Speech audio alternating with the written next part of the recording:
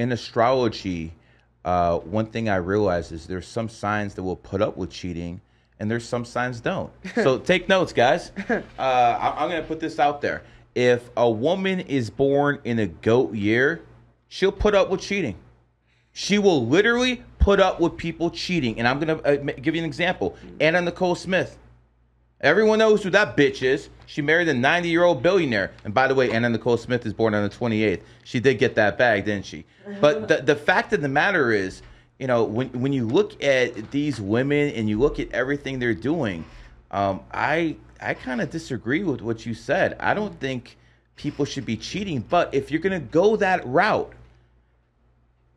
learn numerology and astrology. First of all, if you cheat on a rooster, it doesn't matter if you're a millionaire. It doesn't matter if you're flat broke. They'll cut you. Okay. Uh, Lauren Bobbitt, uh, I think the one who cut off her dude's thingy, that was she was born in the rooster year. But if you look at other signs like goats, again, as long as the man is providing money and giving them a, a luxury lifestyle, they'll put up with it. There's certain things people have to understand. And, and this is why I keep telling people knowledge is power. Think of all the people in this world who are putting up with garbage. You don't have to do it. You just have to put understand how to learn this knowledge and apply it.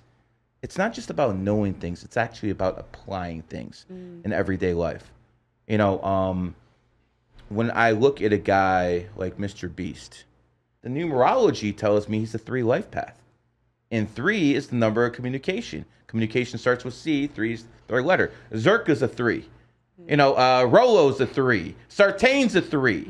Uh, uh, a whole bunch of people out there who basically are three life paths run their freaking mouths. I mean, e- even in the past, Rush Limbaugh, people know who he was. Yeah. Howard Stern and Rush Limbaugh are born on the same exact day. The two people who were supposedly the kings of all media before, you know, people like Pro took over and all this internet stuff, they were the kings of all media. They were born on the same day, the 12th, 1 and 2 is 3. So when you look at stuff like that, you start understanding, okay, this is making sense why people are a certain way. But it doesn't just stop there there is people have to learn this stuff i'm just telling you i just look at all these people with all these problems and i'm like god damn i'm fucking smart as hell because i figured all this stuff out and i never had these problems i mean listen my girl was damn near a virgin okay i didn't have these problems as you guys did i i, I- don't even I, I've been going on trips for 10 years and I leave for a week, two weeks, do business, make money for the family. I don't ever worry that my girl is cheating on me. Ever. And she knows I'm not fucking doing anything because I'm not about that life. Some people are. You know, um, some people, like the Tates, they're tigers. Tigers live their lives like those two. They're supposed, you know, being all alpha, all masculine, halfway a bodybuilder, a freaking fighter. This is what tigers do. And if you're gonna be with the tiger, don't expect them to be faithful. that that's just the bottom line. Some signs will be faithful to the freaking end. Roosters are oh so fucking lo- uh, so so loyal, and I married a rooster partly because of it. This is the stuff people have to understand. And if you do that, life just gets so much more simpler. I have problems like everyone else, but not those type of problems. you know what I'm saying? Mm-hmm. Because my dad escaped communism and he came here and he had a conversation with me when I was eight, nine years old. He told me, Gary, I ran away from the communists. You won't be able to run. There's nowhere else to run. He told me that in the 80s. And he was not an educated man, but he was a very, very smart man. And, you know, when my dad passed, he didn't leave me any money. We, we, we were middle class to below or above at some point, but we're always moving like this. Um, but I thank him every single day. It- it- it- I start thanking him once I start getting some sense because he came to this country He came to America. He gave me the opportunity to be in the greatest country on earth. And because I had that opportunity, I became a freaking millionaire. I would not have done this in any other country on earth. Flat out. I love this country. But this country needs to be saved. Because if if it's not saved within the next decade, it's going to be too far gone. It's going to be too far gone and I really don't know what to do at that point. It was like Brute says, at that point society's going to destroy itself and then we're going to go through that same cycle of strong men coming from tough times and they build their kids up and all of a sudden these kids become soft and the whole cycle repeats repeats. One thing i always do i have uh, a 10 year old and a 4 year old i don't allow my boys to cry.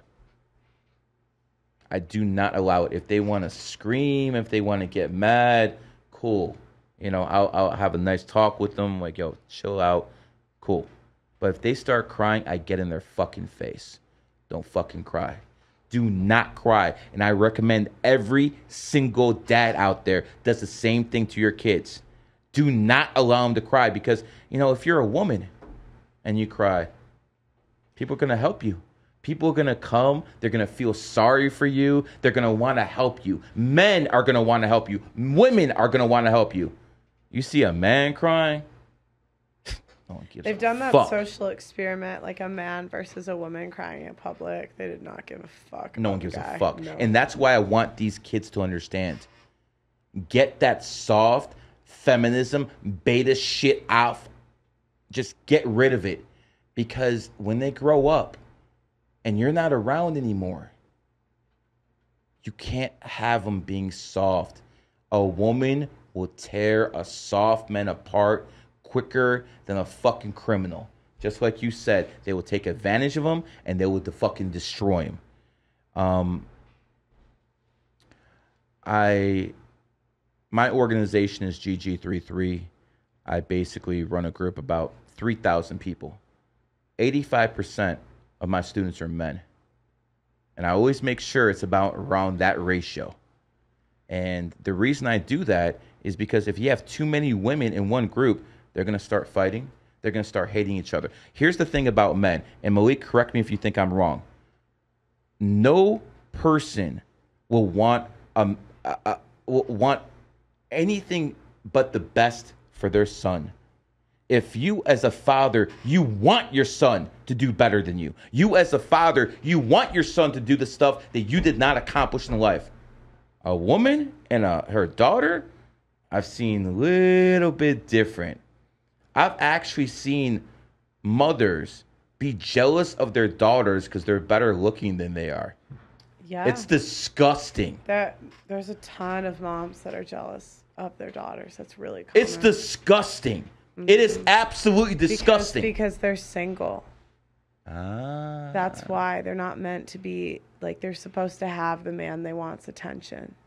So either they're not with the man they want and they're looking or they already or they couldn't keep him whatever it is and now they're like think about it um you have a daughter at 20 now 40 year old and 20 year old are in the same club you cannot tell. That's the crazy thing. You can't. You know, you're supposed to move. One's a little more used up though. Well, but that's the crazy thing. Like you used to be able to tell the difference in the way they dressed between a 40 year old and a 20 year old. They can't tell anymore. No, they dress exactly the same. I mean, you can you can tell them the wrinkles. You know what I mean? But but, but they look exactly the same. It's crazy. Father Time is undefeated. yeah. Absolutely undefeated. I had a question. Mm-hmm. Why do women have this fascination with their lips? They I see a lot of women now with these thick lips. They put Botox oh, the, in their lips, stuff like filler. that. Yeah, what is that? Because I'm noticing that happening, and mostly well, with these women who have money. Remember, women were dummies. So if they Still just are. yeah, if they just market us anything, we'll buy it. So they got they marketed uh, lip filler to us, and we bought it. We're I find dummies. that I find that unattractive. I know. Why would I, I I find breast implants unattractive. Yet it- you have a whole bunch of women who do them. I mean, this is why I keep telling people, Pearl. They these red pill guys say these women are crazy. They keep saying, "Oh, yo, these bitches are out their fucking mind." I agree with them, but then they tell them to get breast implants. Then they tell them to take birth control pills. What mm. the fuck? How is that helping the situation at all? Who tells them to get breasts? I've never Uh, heard there, there's quite a few red pill guys that you know Oh. tell people to women to enhance themselves any way possible. I mean, hell, if you're Brazilian, they're gonna tell you to put something in your butt. Yeah, I mean, there's Kanye West's mom mother died. Well, I'll- I'll. Kanye Yeah. West's mother died because of plastic surgery. You know, I'll, I'll say this. Um, there's different strategies that women use to attract different types of guys, and unfortunately, the the guys that women we tend to go for when we're young are the rappers, the ballers, the all that. Like it's just The bad boys. Yeah, I mean, yeah, sort of. And so because of that, you know, they're marketing for the look. And those guys typically aren't seeking long-term mates, typically. I mean, are those guys known for being family men in general?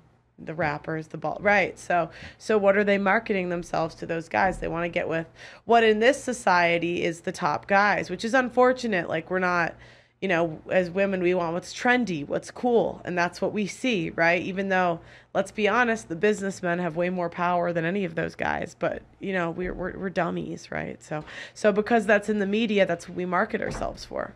Uh, we're about to start wrapping this up. Pearl, give us red flags that guys can look for in women. Um, that's just controversial. I think tattoos, uh, personally. Um, I think uh, a lot of, I mean, being fat. Obviously, there's no discipline. Doesn't like kids. Um, you know, I went to college, but I'd say it's better to get a girl that didn't. Not too smart. um, and super masculine and argumentative. I'd just say, yeah. Um, But especially like tattoos and dressing trashy, I'd say it's like the biggest stuff. Because, I mean, she's just gonna embarrass you. do you think if a woman puts on a bathing suit that's uh, dressing trashy? I Tough don't- one. don't know. Um, I think the more modest the bathing suit, the better. So if she's wearing a thong, Oh God, no! Don't date the bitches with thongs. okay, that's, there you that's go. bad. yeah, I, I, that's that's where you cross the line. Yeah. Um,